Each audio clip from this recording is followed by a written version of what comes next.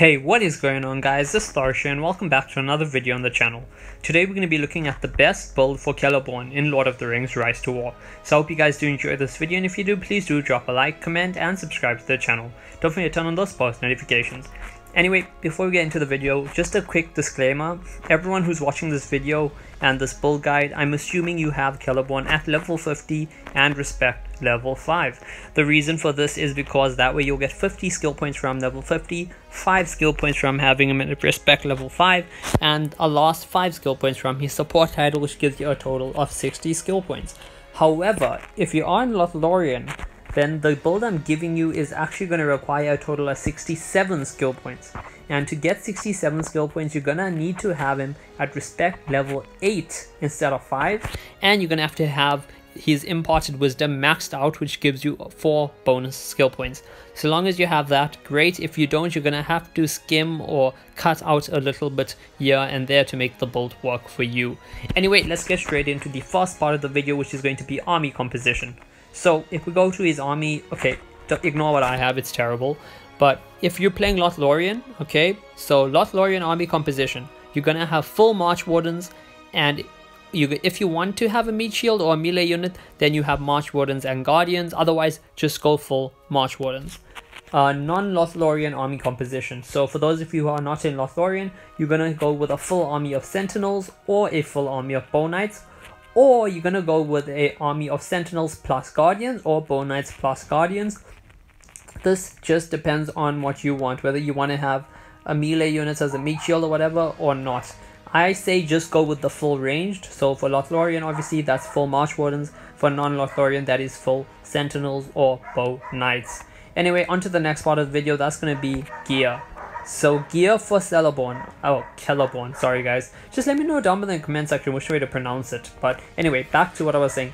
Gear for Celeborn. You're gonna go with full focus gear. Okay, every single gear piece you have on him should give focus. So Walnut Smoking Pipe, very good accessory. Plus 45 focus.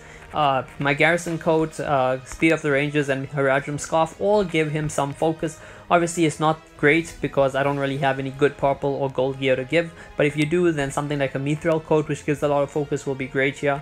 And just any focus-based gear, that's that's all you're gonna need to do, okay?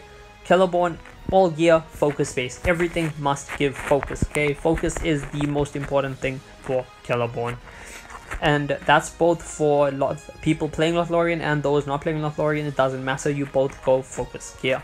Anyway, on to the next part of the video, which is his skills. So let's go to allocate points. And first, we're going to be going over the Lothlorien skill build. So those are for all of you players who are playing Lothlorien. All you're going to want to do is max out Lord of Lorien. You're going to want to max out Firing Formation. You're going to completely skip and not bother with Elven Leader. It's a waste of time. 25% chance to gain follow-up at max level for 7 skill points, just not worth it, do not bother with it, cut it out. Next you're going to want to max out Grey Elf, then you're going to max out Shield Training, then you're going to max out Deadeye, finally you're going to max out Guide, and you're going to put 1 point into the Wise. However, this is going to take up 67 skill points, so for those of you guys who are playing Lothlorien, you are going to need to have a Respect level 8 Celeborn, and you're gonna have to have maxed out his imparted wisdom in order to put this full build. Otherwise, you're gonna have to skim here and there, okay? It's up to you which one you want to change, but you're gonna have to skim skill points here or there. So, reason why you max a lot of Lorien. First two rounds, March Warden damage plus 1.4% with scales with level, obviously, and that effect is modified by your focus stat. At max level, March Wardens gain initiative, which is great. Next, you're going to want to max out firing formation. Firing formation at 7 out of 7 will give your melee units damage received minus 1.4% per level and ranged units damage dealt plus 1.4% per level. So at max out that's going to give you a ton less damage received to your melee and a ton more damage dealt by your ranged units. Grey Elf is at max is going to give you 15% chance to evade damage. That's for allied elvish units only and it's a waste of time.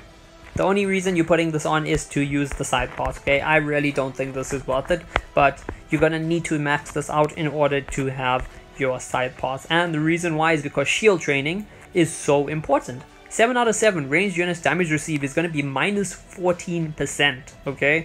And Deadeye, 7 out of 7 is gonna give you ranged units damage plus 21%. So think about that, 21% extra damage plus 1.4% times 7 Uh, so that's even more extra damage from firing formation. Plus, March Wardens will gain plus 1.4% times 15, then effect modified by a focus stat. That's just a ton of damage. Now, the reason why you're going to max out Guide is because your first two rounds, all your allied units are going to have plus 45% physical damage.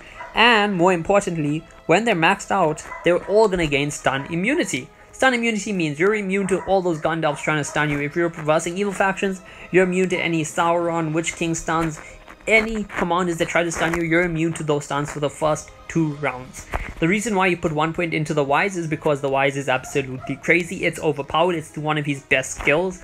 And putting 15 points into it, the only thing that affects is the amount, amount of damage received uh, is reduced by 15%. So each level you increase it, that damage received increases by one damage received uh, decreases by 1%. So at level 1 you'll receive 1% less damage, level 15 15% less damage. The rest of the skill stays the same so there's no point putting more skill points into that. So you're going to put 1 point into there because at focus 150 you'll receive 1% less damage with 1 skill point. At focus level 250, it doesn't matter if you put 1, 10 or 15 skill points into it, you will receive madness immunity. And at 350, your army will gain initiative. Like, how great is that, okay? For one skill point, you get Madness immunity, you get initiative, and you get 1% damage, 1% less damage received. So, yeah, that's going to be our Lothlorien build, okay? 15 points into Lord of Lorien, 7 points into Firing Formation, 15 points into Grey Elf, 7 points into Shield Training, 7 points into Deadeye, 15 points into Guide, and 1 point into the Wise. Your entire army has Madness and Stun Immunity, and your range units are basically like nuclear bombs going off with so much of damage increase from Guide, from Lord of Lorien, from Firing Formation, from Deadeye, and they receive less damage thanks to your shield training. Now, next up, we're going to be going over the builds for non-Lothlorien players. Also, guys, if you can hear my dogs in the background, I do apologize for that, okay? They're dogs, they love to bark, and there's nothing I can do about it. I've already tried recording this video like 20 times. Anyway, back to the video. So, for all you players who are not playing Lothlorien, the build is very simple. 15 points into Grey Elf, uh, 7 points into shield training, 7 points into Deadeye. You are not going to bother with R5. Pretend it doesn't exist. It's not there because that only affects March Warden. March Wardens, and there's no point putting 15 points into a skill that only affects March Wardens, okay? So for your non-lock players, R5 doesn't exist. We don't need it, we don't want it, okay? Anyway, 15 points into Grey Elf, as I said, 7 into Shield Training, 7 into Deadeye, 15 into Guide, and then 15 into the Wise, because why the hell not? But you don't have to do that, okay? So the first option is you put 15 points into the Wise, 15 into Guide, 15 into Grey Elf, that's 45 points. Another 14 points into Deadeye and Shield Training, which is 55, 59. And then you put 1 point into whatever else you want. Or if you don't want to put 15 points into the Wise, you're just going to do the 1 point thing the one point that I told you to activate everything. Then you go 15 into Grey Elf, 7 into Shield, 7 into Deadeye, 15 into Guide, 7 into Armed Escort, and then I guess you dump the rest of points into Foresight or you upgrade the Wise along with one of the other skills because, you know, they're pretty decent as well. Silver Toll gives you more focus and speed. Magical Barrier increases your army defense and makes them absolutely tanky. But yeah, that's going to be your build for all your non-Lothlorien players. 15 into Guide, 15 into Grey Elf. Both of a, a Grey Elf side pass maxed out. And then either 15 points into the Wise and 1 point elsewhere. Or 1 point into the Wise and then you maxed out Armed Escort. And the rest of the points is you can distribute them at your own discretion. But yeah. Celeborn is very overpowered. At R0, you have Madness immunity, you have stun immunity, you can gain initiative as well, depending just on how high your focus level is. And then he's got some great stuff here, which is Silver Toll, which helps to increase both speed and focus for Commander. You have Magical Barrier, which increases your army defense. You have Armed Escort, which deals damage and heals every second round, so that's pretty great as well. But yeah, hope you guys did enjoy this video, and let's just do a quick overview of everything. So, first in first place first. Army wise, Lothlorien players, full army of March Wardens. If you don't want to have full army of March Wardens, full army of March Wardens plus Guardians. Non-Lothlorien players, full army of Sentinels or full army of Bow Knights. If you do not want to do that, then Bow Knights plus Guardians or, Sent or Sentinels plus Guardians, up to you. Next we go over to the gear.